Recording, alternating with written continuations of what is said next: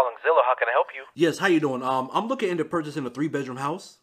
Alrighty. What's your budget? Three hundred thousand.